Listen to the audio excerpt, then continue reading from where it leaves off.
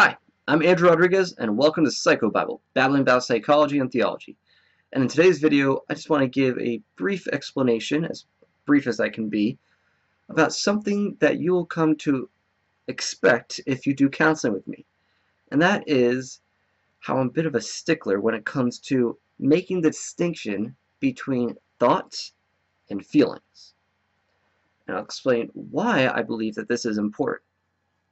So first, what's a good working definition of a thought?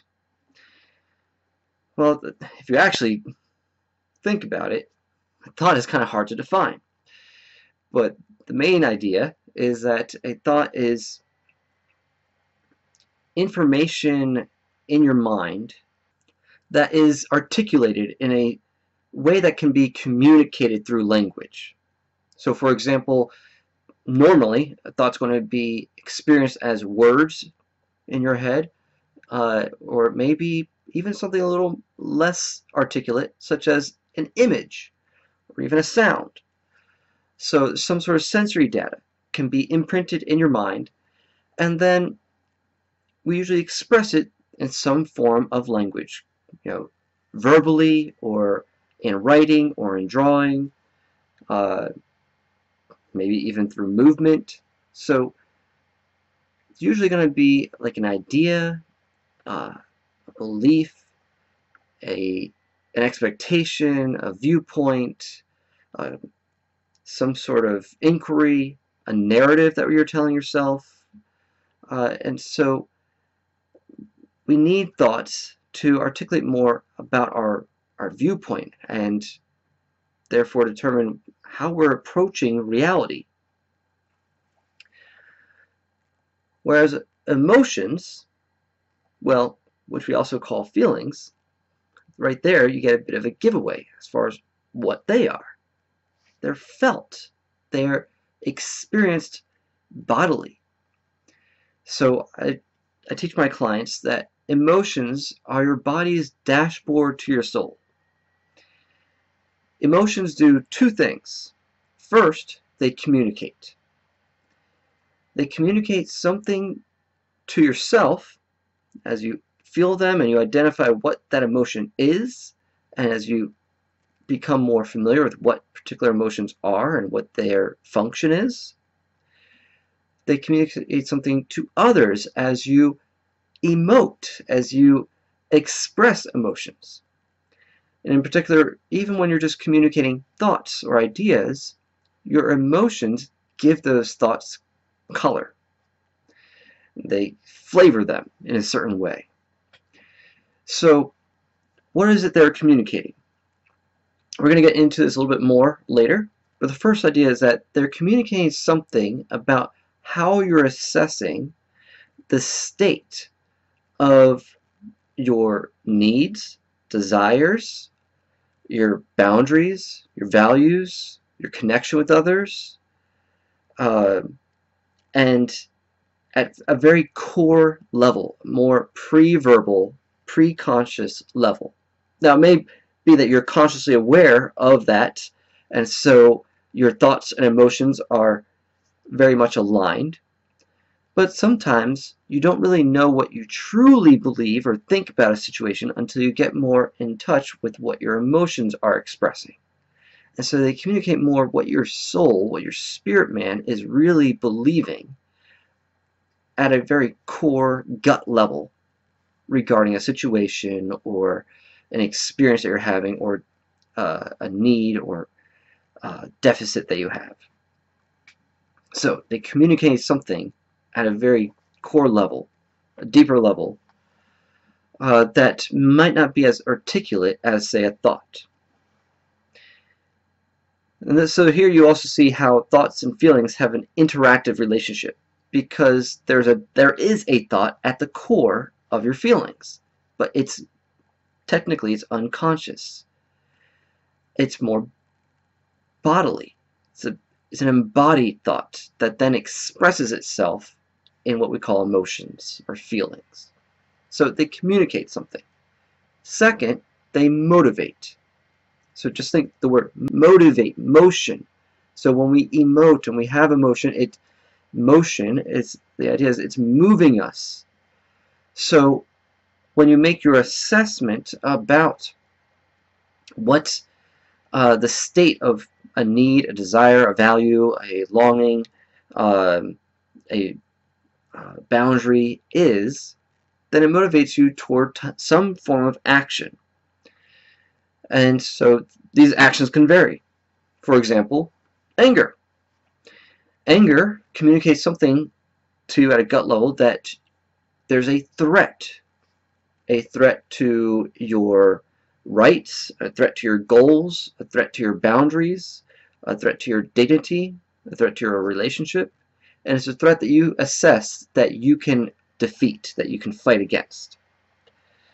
So at the core level, you quickly make an assessment, I can fight this threat, and so anger rises up, and you feel anger usually as some form of energy, tension in your muscles, at least the striated muscles, so that you can fight that threat. And the stronger it is, the more there's a sense of aggression with that anger. So it's motivating you to take action to fight that threat. Okay? So, emotions both communicate and motivate. Why then is it important to distinguish between thoughts and feelings? So when I'm working with clients, and especially you see this when I'm working with couples and I'm helping with their communication, I express to them the importance of distinguishing between what they feel and what they think. When we get in touch with our feelings, our emotions, we're being more present to what we really do believe deep down, but mostly about how we're assessing a situation, how we're assessing our needs, our values. And so when we are both aware of that and our thoughts, it helps us more accurately express what we well believe, what we value, what we desire, what we're longing for. Okay? But also how we believe someone else is treating us, how they're viewing us, and emotions, though, are completely contingent. You do not have direct control over your emotions. They're contingent on the assessment that you have. And your assessment can be right or wrong, but the emotion that is being felt is not something that you choose. You do not choose your emotion.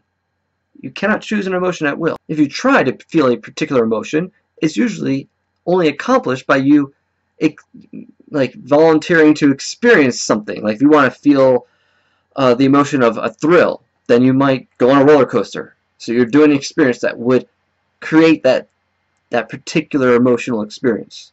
Or if you, for some reason, want to feel sad, like actors do this when they want to make themselves cry, they will intentionally think about an experience that brings up sadness, and then they'll, it might be able to access their tears. So it's contingent on an experience or a thought, a memory, for example. But you do not have actual control over your emotions. Thoughts, you do have a degree of control over. I mean, when you look at the different functions of the soul, you have thoughts, feelings, behaviors. Behaviors are the one thing that you have the most control over thoughts. You don't have control over every thought that pops into your head or idea that pops in your head, but you do have more of an ability to do something with that thought that comes into your awareness and edit it, maybe uh, evaluate it more, and then actually seek out and maybe acquire a new thought, a new belief that can counteract a certain thought that that is not effective or not working for you or inaccurate. Whereas emotions, you can't just make yourself feel something different. So the conventional wisdom is that emotions just are. Feelings just are. You feel them, they're neither right nor wrong, they're neither good nor bad. And so it would be unfair uh, to criticize someone for an emotion that they're experiencing because they can't choose that emotion. So this is why it's important to distinguish between thoughts and feelings because when you're communicating to someone, when you start with I feel and then you share actually a thought, a belief, a perception, it's not accurate what you're then going to say. Okay? Now, I might be nitpicking a bit here, but when we train ourselves to make that distinction, it actually has a lot of good benefits. So, for example, I'm working with a couple, and perhaps the husband says, I feel pressured. Okay? And he's speaking about something that the wife is doing, and he feels pressured. Even that is actually not an emotion. That is an assessment of what the other person is doing to him. So the more accurate statement is, I believe that you are pressuring me. What does he actually feel when he believes that she's pressuring him? Anxious, stressed, aggravated. So those are the more the emotions. Sometimes we overcomplicate it. We, we like to have these feeling wheels with tons of different emotion. We don't need that many. Sometimes you just need the very basic ones of sad, glad, mad, scared, uh, guilty, ashamed, uh, excited, joyful. So, you know, there's nuance for sure and degrees of intensity for all these emotions, but we don't need to have a ton of different words for our emotions. Sometimes we just need to identify, well, what is that feeling that, that is in my body and what particular emotion is that related to? Okay? So I believe that this is important because your emotions cannot be judged as right or wrong, good or bad, but rather as inaccurate or accurate, and they can be measured in intensity and maybe even also direction. But otherwise, they're amoral. So because of this reality, when people mislabel their thoughts as feelings, this has some interpersonal consequences. Or actually just personal, yeah, intrapsychic and intrapersonal consequences. For one, one of the consequences that happens when you mislabel your thoughts as feelings is you can now have blind spots about what you truly think and believe. So if I say, I feel rejected, okay, I'm blind to the reality that I actually am perceiving, viewing others as rejecting me. And I actually miss out on seeing that, well, what I actually feel is hurt when I perceive that others are rejecting me. And so there's a blind spot there that I am thinking that others are rejecting me. And when I have that blind spot, I can't more critically evaluate the accuracy of that perception because it's just a feeling. Well, this is just how I feel. Well, that's not really a feeling. It's an actual thought. And so we can then move to the second thing that happens is we can attempt to manipulate others by presenting a flawed argument and then we protect ourselves by saying that's just how I feel. Okay? And because we know that feelings can't be judged as right or wrong, then if we just put I feel in front of something, then we get out of having to critically evaluate the thought that we actually just ex just expressed. So I, I feel like you don't love me. Is that a thought or a feeling? It's a thought. It's a judgment about how someone else is treating you and how they uh, value you. What is the real emotion there? It's probably anger, hurt, sadness. But you're not getting to the core of what you really feel when you're just saying, I, I feel like you don't love me. And then you can go on and on about how you're justified in getting revenge in some way or uh, giving a cold shoulder, stonewalling the person because you've already expressed, well, this is just how I feel. And so someone can't tell you, no, I do love you. No, I don't feel like you love me.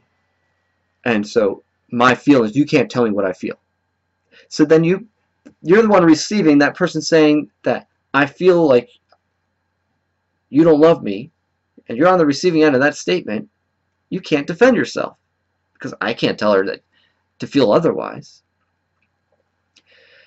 So if we reword that to be, I believe that you don't love me, and I feel hurt, I feel sad. Okay, I can't judge her for feeling hurt or sad. I can't tell her, no, you don't feel hurt, you don't feel sad. No, because feelings just are. Now, the idea that I don't love her, now we can discuss that. And I can ask more about what is it I'm doing or not doing that shows you that I don't love you? That you're seeing as evidence of that. And then I can work toward a solution. How can I improve that? How can I make this right? And so thirdly, one of the problems we run into when we mislabel thoughts as feelings is we can use our feelings, our really our thoughts, as an excuse for not changing. Because, like I said, feelings just are. And so I could just say, I feel like no one likes me, so I feel like it's not going to be worth trying. Uh, I'm going to go to this, you want me to go to this, this get-together, this party, and try to engage. Well, I just feel like no one's going to accept me. So I feel like it's not worthwhile. So I'm just going to stay home and mope. Okay? Like, I, I can get out of not changing because this is just how I feel. And we can't just change your feelings at will.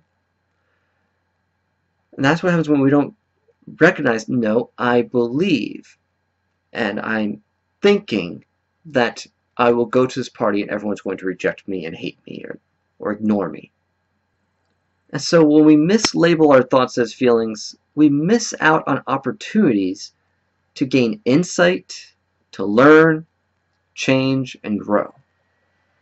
And then we also we don't take responsibility for doing something about those thoughts and even our feelings. Because when we understand that feelings are contingent on our deeper thoughts, then we can realize, well, I might not be able to change this, this emotion directly, but if I'm willing to do the work, I might be able to influence this emotion more. It's going to take some self-examination, some effort, some planning, some critical evaluation, but I'm determined to do that. I've mentioned all this in previous videos, especially when I discuss compassionate communication. So I don't want to repeat things I've shared before in other videos, but you please go to the description and check out those other videos if you want to jump into, into this a bit more. Now, time for a bit of a rant. I just went into the differences between thoughts and feelings, emotions, and why it's important to make the distinction between them.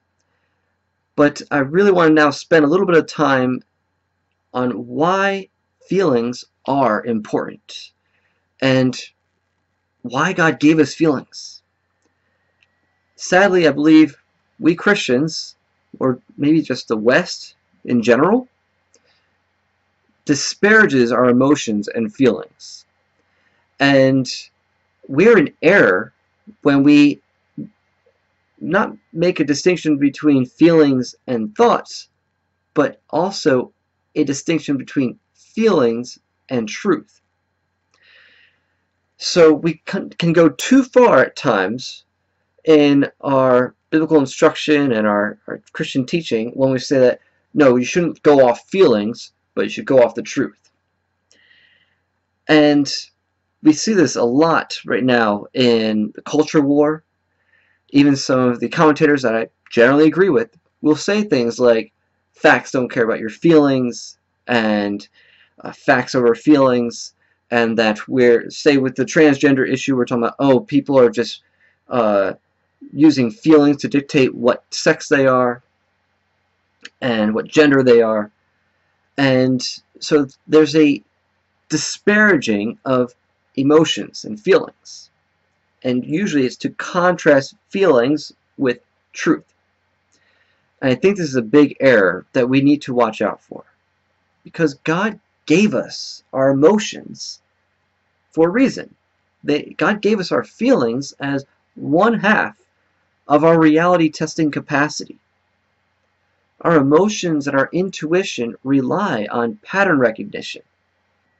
Now, this detection of patterns and what they mean may be inaccurate or overly sensitized, but it's not necessarily wrong by default.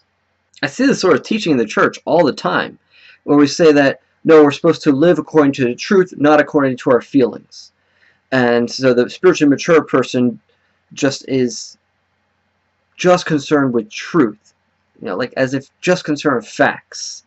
And it gives this idea that a mature person is just stoic, disconnected from emotion, and just pretty much is like a Christian version of Spock, just unemotional and just very factual, to the point, stoic. And that is actually not biblical. That is not the Christian worldview. That's actually a product of the Enlightenment and the scientific revolution and the modernist worldview, the secular modernist worldview. See, in this rationalistic worldview, uh, there's a privileging of thoughts over feelings. And it comes with this assumption that thoughts are objective and feelings are subjective. But the reality is thoughts are also just as prone to error as your emotions. That's why I've shared earlier the importance of making a distinction between your thoughts and feelings.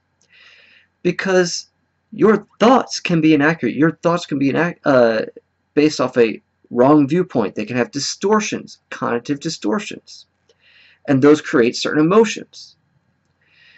So the emotions themselves can be rooted in a poor understanding of the actual assessment of your thoughts, uh, of, of your needs and uh, desires, your longings, uh, your boundaries, all this stuff. So yeah, your, your emotions can be indicators of thoughts that are incorrect.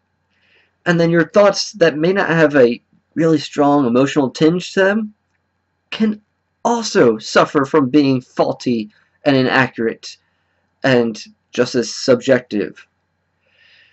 So what we're really seeing here is a feature of the two-story worldview that Francis Schaeffer taught about, and also that Nancy Pearcey talks about because she's a student of Francis Schaeffer, where the modernists made the decision that for society to function, we need to separate what we can know uh, from scientific method, from reason, and privilege that over things that we cannot prove scientifically, such as values, such as spiritual beliefs, and what they would call subjective facts or uh, experiences or opinion.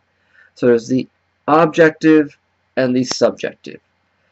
And so basically religion and the world of values got relegated to the private sphere and what should dictate the public sphere and how we get along together is all determined by the scientific method and reason, rationality. And so that was what was privileged as we became more and more secularized in the West. So this is the two-story worldview. Know, feelings, values, subjective opinion, however broad you want to determine that, uh, is the lower story, but the upper story is facts and things determined by science and reason. And so they paralleled this with emotions and thoughts. And so sadly, the church has become complicit in this, where we've allowed ourselves to be relegated to the private sphere. Or at least, you know, we'll live like the world in, in general, uh, but religion doesn't really impact our public life. We just sort of treat it as something private we do at home or when we go to a worship service, uh, a Sunday morning service uh, with our, our fellow Christians. But, you know, that's about it. It's something private. And uh, then the way we approach en engaging with the culture is going to be on the culture's terms. So even those Christians who want to be involved in the culture, they're approaching it in terms of the modernists. So we try to prove through scientific method that the Bible is true. And any sort of argument that is more rooted in emotion or intuition, uh, we we devalue it. And so you see this as well even among Pentecostals because we're so often accused of just being emotional uh, by our fellow Christians that I see the same teaching among Pentecostals and uh, that all right we we're so aware of, we're so kind of ashamed of that accusation of being accused of being emotional that we we don't embrace that yeah we do express ourselves more. Let's own that. That's okay. No we, we're kind of ashamed of how you know our our type of worship is more emotional. And we try to make up for it in some way. So generally what you see, especially among evangelicals, is we engage the culture in the culture's terms, where we're mostly concerned about proving the uh, facticity, the, the, the objectivity of Scripture, which has its place. I love studying apologetics, and I believe you can prove quite a bit through good textual criticism and classical apologetics, through archaeology, through uh, studying history, Christianity still comes out on top, even under scrutiny. However, arguments for the faith that are more rooted in things that are more intuitive, such as symbolism, get relegated, get marginalized among our own church, among Christians. And so we're actually engaging the world with one hand tied behind our back because we're only using the more rational brain, the more rational side. And we thought that that was the best way to engage our culture. But the reality is, the culture has changed. It was inevitable because a purely rationalistic way of approaching life and determining what should be important and what governs our policy was inevitably going to fail. And the Romanticists, going back to like the 1700s, 1800s, caught on to this. Because when you're saying that, no, only things determined by science should be considered true, everything else is subjective and the, the things that are only determined through science and reason should determine how we live. Well, eventually, the romanticists like Rousseau and others that followed in his footsteps said, no, why should it be that way? I don't think in terms of rote facts. I, I, I have feelings, I have longings and desires. Those should dictate what is reality, not cold hard facts.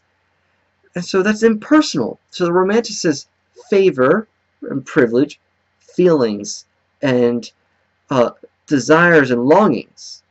And this laid the groundwork for the postmodern neo-Marxists that we're seeing. And actually, this sort of lays the groundwork for what we're seeing with like gender ideology and this thought that how you feel, the subjective thoughts you have about yourself, once again, feel is being misused there. No one feels like they're the opposite sex. Alright, sidebar. You don't know what it's like to feel like another person. I don't even know what it feels like to be a man. I just am. My experience of being male is not a feeling. It's simply a reality. I am. There's not an emotion associated with male. Okay? So viewing myself as a man is not the same thing as feeling like a man. Alright? I, I have a thought about myself that is in line with reality. See, when we've been treating gender identity as a feeling, then we miss out on a way of actually helping critique it and helping people find their way, way back into reality, back into truth. When they realize, no, you don't feel like the opposite sex. You think you are. And those thoughts can change. There's something else you're feeling, and maybe some form of distress, uh, anxiety associated with their own sex, with the thought of being the male or masculine, uh, or female or feminine. There's some other feeling that's associated with the thoughts about that, their perception. But the thought itself of being a sex that you are not is just that. It's a thought. It's not a feeling. But either way, what we've done is we've taken that subjective experience and we're, well, the culture is trying to argue that that should determine what someone is. That should determine reality. And we set ourselves up for major problems when we've only been addressing the culture with just rationality. And so we had a vulnerability that now the current romanticists, now the uh, social justice ideologues, are exploiting. The fact that we've neglected the value and importance of emotions and subjective experience, desire, longing. And because the church has sort of allowed itself to be relegated to the sidelines, we're not offering a substantive voice and really we don't have authority in our culture because we've allowed the culture to say no things should be secular and your religion should be just experienced personally. And a lot of Christians have just went on with that. Yeah sure. Church and state should be separated. We shouldn't impose it. We shouldn't so it's like we shouldn't even engage at all yeah we shouldn't impose and and force our worldview and beliefs but at least not entirely there are certain ones that uh, are just universal enough that we should all agree upon. Like do not murder, for example. But we've allowed ourselves to be so relegated, we don't have a voice in this culture war. And so we have these modernists at war now with these postmodernists who are saying that, no, my subjective experience of feeling like I'm a male, uh, if you're actually female, should determine what my gender identity is. And now we got the modernists trying to say, no, no, no, there's scientific reasons for being male, female, all this. They're duking it out. And this whole time, true biblical Christianity has always offered the union of the rational and the emotional. But we've allowed ourselves to be duped into thinking that, no, emotions are bad. Emotions are subpar. In pre-modern Christianity, in pre-modern Western civilization, we understood that the physical world, the world of reason and facts, all that, the body, the material world, has intrinsic meaning and value because of its relationship to the immaterial world of values and the, you know, the spiritual and so Christianity has actually offered a marriage of the two. And when we recognize that, we're best equipped to discern reality. In dialectical behavioral therapy, they talk about the wise mind as the overlap of the rational mind and the emotional mind. And I don't believe that that is unique to Zen Buddhism and dialectical behavioral therapy, but that is simply an acknowledgement of the biblical worldview.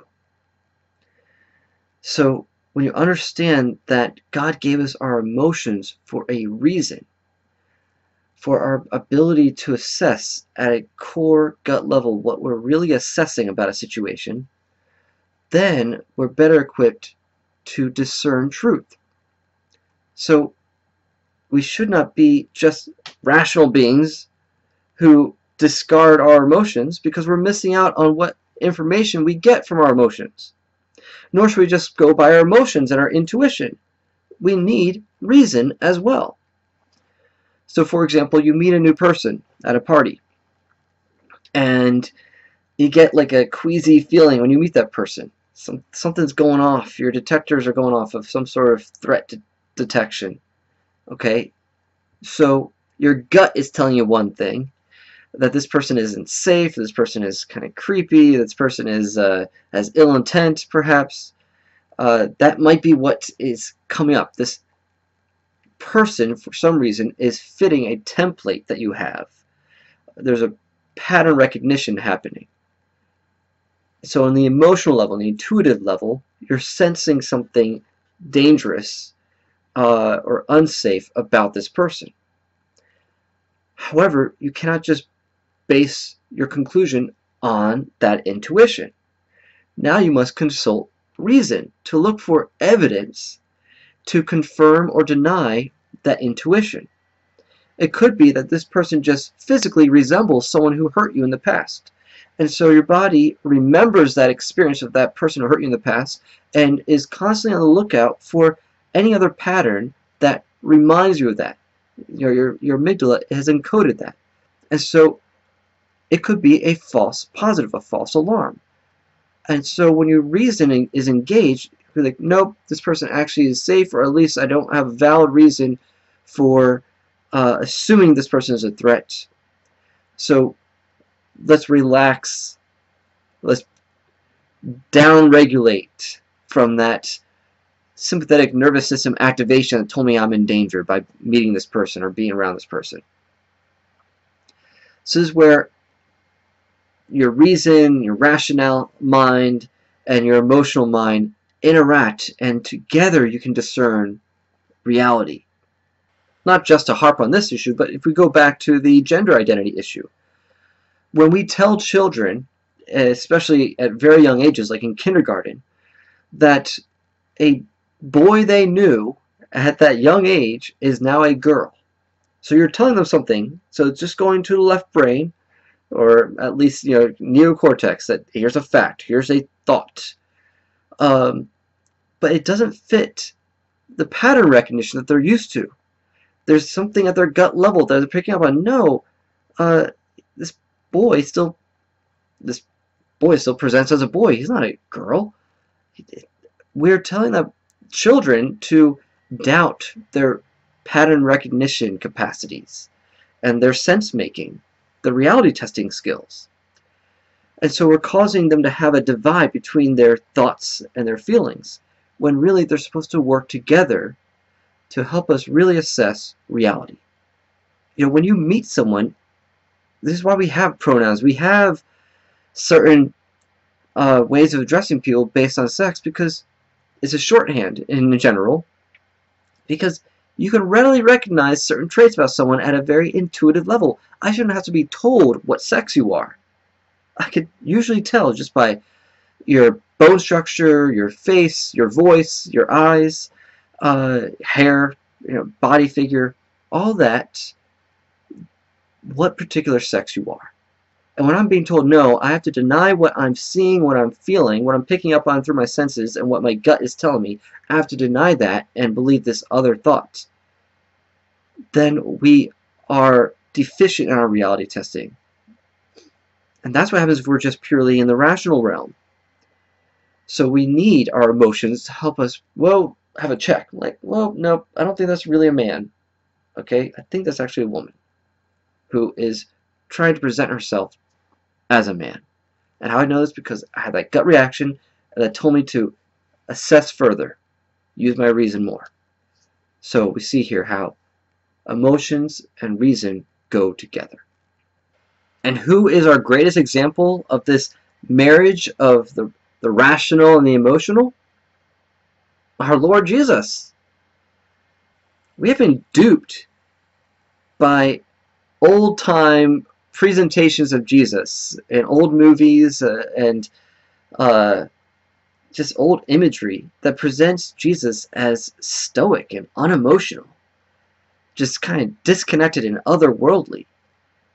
And maybe that's because we think that is what makes him seem spiritual and, and godlike, but yet it presents a false view of who God is. Throughout the Old Testament, we see that God has emotion. He has feelings. He's he is uh, tender. He's angry at times. He's patient. He's loving. He has a full range of emotions. And Jesus said that he came to reveal the Father. He came in a body to reveal who the Father is to us. And what do we see in Jesus? Not this stoic, you know, walking around. Yes, okay. No, we see a man who is in touch with his emotions. He's not ashamed of his emotions. He doesn't suppress them. He expresses what needs to be expressed, and he does so vividly at times.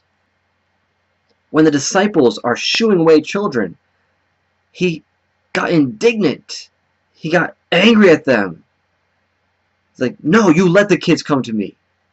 He felt anger and he expressed it in order to fight against that threat to those he cared about, the children. When Lazarus died, the, the shortest verse in the Bible is so poignant. Jesus wept. Not just like single tear going down his cheek. He bawled his eyes out. Even more so, look at the Garden of Gethsemane. He was so distressed, so anxious. He sweated drops of blood, and he wrestled with his instinct to survive. But ultimately, he agreed with God that, yes, this is the right way to go. Not my will, but your will be done. But boy, he did experience that anxiety and that distress associated with what he knew he was going to do. So we don't see a passive, stoic, unemotional Jesus. We see a Jesus who came to earth with passion, with fire. and we're promised he's going to return with passion and fire again. But at the same time, he wasn't just all emotion. He was the most reasonable being who ever lived, who ever walked the earth. He spoke with such authority and wisdom. He awed everyone when he spoke. They're like, wow, who has such wisdom and knowledge and, and authority when he speaks? So he wasn't just using bluster and just expressing his anger or his enthusiasm and had no substance.